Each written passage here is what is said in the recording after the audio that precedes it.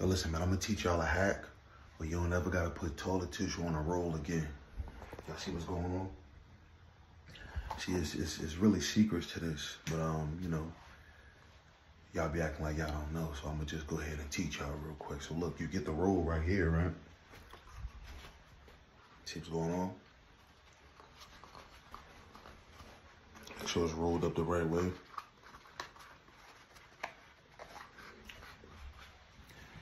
And then you place it, you place it like right here. Like you see, you see that right there? You place it right there.